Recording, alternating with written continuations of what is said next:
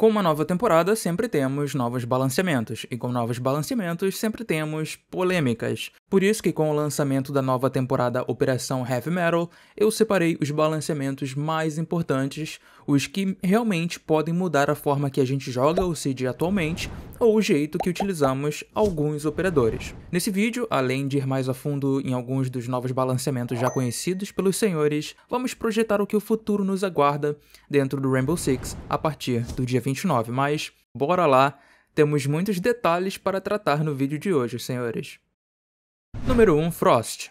Com a Frost, aquele polêmico retrabalho, pelo menos, ao meu ver, se tornou um gigante buff comparado à primeira versão do retrabalho, beleza? Isso porque se você for se levantar do capacho sozinho, você fica praticamente um minuto inteiro sem poder correr, deixando pegadas, onde isso denuncia a sua posição, fora a cal sonora que o operador emite, saca só. Você não tem alterações na mira, no ADS, isso não tem de fato, mas mesmo saindo relativamente rápido do capacho, tipo 4 segundos, um minuto inteiro com esses efeitos acaba se tornando muito punitivo, diferentemente do que era com 20 segundos. Sempre bom lembrar que eu tô comparando versões de retrabalho. A operadora será retrabalhada eventualmente, eu não gostaria que fosse, né, mas ela será de qualquer forma, portanto a gente analisa as versões do retrabalho. Então assim, a melhor decisão nesses casos, caso você venha cair num capacho, é de pedir ajuda para um colega seu mesmo. Se um colega seu te ajudar, você vai ter basicamente o efeito atual da Frost. Você vai ficar com 20 de vida e tudo mais, só que tu não vai sair capengando por aí, nem nada. Tu vai conseguir se movimentar tranquilamente, correr, sem deixar rastros ou qualquer coisa do tipo. Como eu tinha dito, cara, essa versão atual do retrabalho melhorou bastante, tá? Deixou um pouco mais punitiva essa operadora. Você se soltar do capacho pode ser uma escolha ruim, no final das contas. Às vezes você pode preferir esperar um colega teu te ajudar, porque um minuto com esses pontos negativos pode acabar te atrapalhando bastante. Então eu realmente acho que a Frost acaba sendo bufada com essa nova versão do retrabalho. Lembrando, comparando aquela outra versão do retrabalho, tá? Eu sei que muitos de vocês não gostam dessa mudança, mas ao longo da temporada, quando vocês testarem isso na prática, principalmente se vocês meterem um pé nessa brincadeira aí, eu acho que talvez possa mudar de ideia, porque tenham em mente, é horrível controlar o operador dessa maneira, é horrível, é horrível. Lembrando que um counter para o debuff da Frost é a finca, pessoal. Se você se levantar sozinho, ou a própria finca se levantar por meio do capacho, você corta todos esses efeitos posteriores, tá? O boost dela corta tudinho, pode sair correndo, sem problema. E não, o boost da finca não levanta ninguém do capacho, tá bom? Eu sei que parece mais que óbvio, mas é sempre bom deixar claro, né? E para finalizar, eu acho que já deram para notar em uma outra cena aí, a Frost está colocando seu capacho um pouquinho mais rápido nessa nova temporada, beleza? Vou estar tá colocando na tela aí mais ou menos o tempo que está demorando versus o tempo do servidor atual. Número 2, Green. E o retrabalho do Green é basicamente um novo modo de jogar as abelhas. É, assim, eu esperava mais, eu confesso, mas isso aqui também não é de todo ruim você tem um novo modo de ativação do canister, onde ele não vai grudar em uma superfície como é hoje, e ao invés disso ele vai rebater nela, meio que quicando, sabe? Ui, ah, mas ele vai rebater para acessar novas áreas, sacou? Do jeito que vocês estão vendo aí na tela. Supondo que você tá num lugar e tem um defensor que tá te marcando em uma salinha.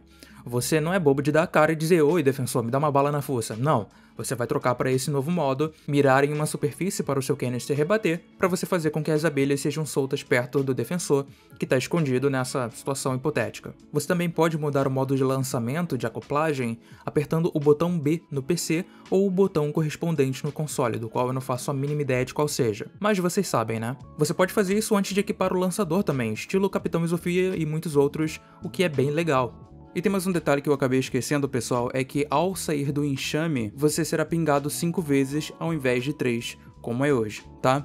Mais um detalhe aí pra vocês que eu acabei deixando passar. Apesar de simples, isso dá a você um pouco mais de liberdade e opções de jogadas, fora o fato de não se expor tanto, o que é bom, né? Isso, claro, dependendo da situação, porque às vezes é meio confuso esse lance de rebater. Tipo, assim, você não tem ideia para onde ele vai exatamente, tu não consegue calcular muito bem. Mas, em boa parte dos casos, vai servir o seu propósito, afinal. Essa é uma feature que pode receber mudanças para o futuro, inclusive, tá? Logo, não deve ser o fim do mundo, apesar de que eu esperava bem mais, eu confesso. Número 3, Legion, ou Lesion. O Lesion é também um dos operadores que a gente pode falar que está sendo retrabalhado, né? Afinal, a forma com que o seu gadget funciona está mudando. Essa é a grande diferença de retrabalho para buff ou nerf. Quando é buff ou nerf, você tem uma característica existente sendo modificada tanto para mais quanto menos. Em retrabalhos, a forma com que o gadget funciona que acaba mudando. É exatamente o que acontece com Lesion aqui nesse caso, pessoal. Bom, número 1, um, eles removeram o stealth das minas Gu. Agora não existe mais aquela mecânica clássica delas se camuflarem. Número 2, adicionaram de volta o famoso e infame dano inicial. Sabe quando você pisava antigamente nelas e você recebia um dano logo de cara ao pisar? Isso tá voltando e na forma de 5 de dano. Sim, você vai conseguir eliminar os candango que pisam nas minas Gu novamente. Número 3, o dano que você vai sofrendo se você não retirar as Gu do pé também foi aumentado. Antes era 8 a cada tique e agora são 12 de dano a cada tiquezinho, 4 de dano a mais. Número 4, o timer também aumentou, ou seja, o intervalo entre cada dano que você vai sofrendo. Antes era 2 segundos e meio e agora serão 2 segundos. Isso aqui pode não parecer muito, mas eu acho que vai fazer uma grande diferença frente ao dano inicial e ao dano base conforme o tempo for passando. Resumindo, isso faz com que você vá perdendo HP mais rápido conforme o tempo, entende? Número 5. O ícone do HUD indicando o gadget, a sua posição, também foi removido, já que agora você vai conseguir ver o gadget naturalmente. Número 6. A GU atualmente funciona por proximidade. Mesmo se o pé do operador não tocar de fato a GU, existe uma área ali que faz com que você acabe ativando uma mina próxima a você, como se tivesse pisado nela. Daí agora eles estão adicionando esse efeito de feedback pra gente ter uma noção exatamente da área que ele pode afetar alguém, entende? Aí tu consegue colocar ali numa porta, atrás de algum lugar, enfim. Também outra coisa que pode ser bufada pro futuro, viu? Número 7. Se você pisar em uma mina Gu, caso já esteja sobre o efeito de outra que você já pisou, isso vai resetar o timer do dano. Ou seja, tu pisou em uma lá, tá capingando e tal, daí você pisa em outra, o timer volta para os 2 segundos iniciais, mesmo que você estivesse a milésimos de segundos de levar outro tique de dano. Por ter pisado em outra, ele volta para a marca de 2 segundos até o próximo tique de dano. A IQ não consegue mais exportar esse gadget, já que agora ele é 100% mecânico, e a Brava não consegue mais hackeá-lo pelos mesmos motivos. Comentários opinativos acerca disso tudo eu vou deixar pro vídeo de análise, tá? Até porque eu quero entender a razão desse retrabalho do, do Lesion e tal. Eles não deixaram muito específico pra gente ainda.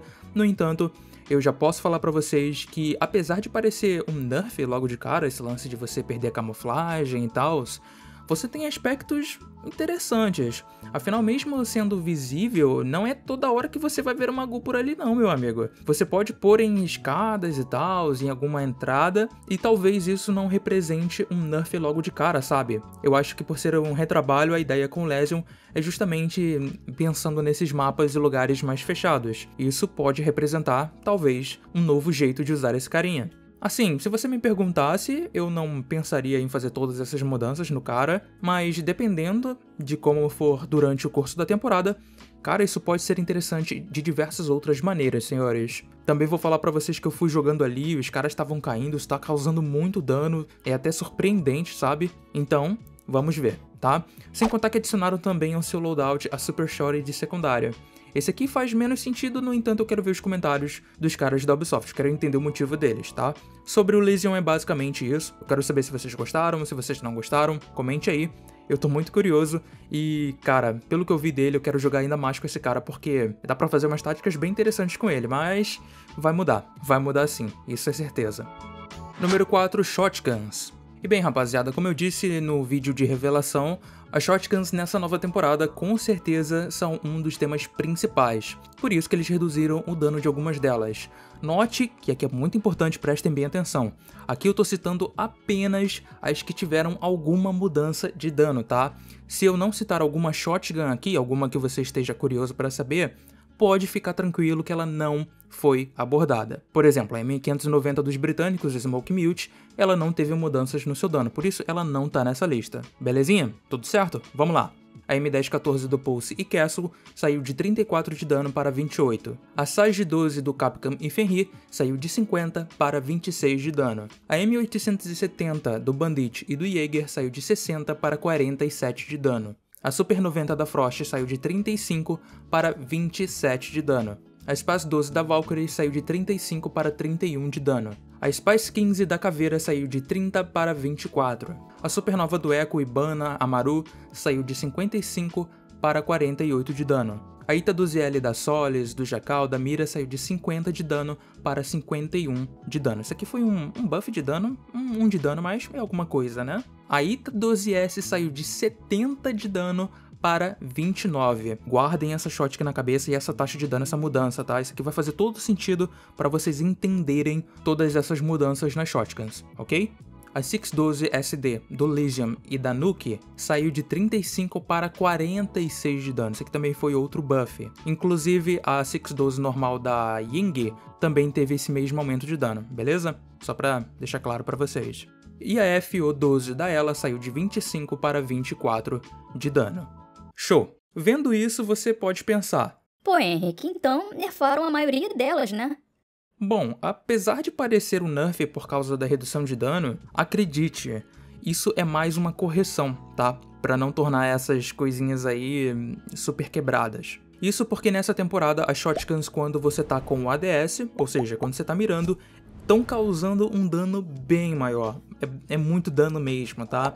Os shells vão mais concentrados, fazendo com que o multiplicador de dano cause ainda mais estrago nos alvos principalmente as pumps, né? Que tem um dano um pouquinho maior, mas as shotguns semi estão incrivelmente fortes da mesma forma, tá? Fica aqui um salve pra Spaz 12 da Valkyrie que eu vou usar pra caramba, tá muito gostosinho de usar, velho. Como eu disse, eu vou trazer um vídeo mais complexo sobre elas, falando e tal, no estilo do canal onde a gente debate e tudo mais. Vou lançar nos próximos vídeos esse, esse conteúdo para vocês, fora outros conteúdos também que eu quero trazer conforme os dias vão se passando. Comentem aí, velho. Eu tô doido pra saber a opinião de vocês. Eu tô com 110, pode dar. 49 agora. Que loucura. Vocês não precisam se preocupar com o dano menor de algumas delas. Podem ficar tranquilos. Zero e Fuse são outros operadores que estão recebendo mudanças nessa temporada, pessoal.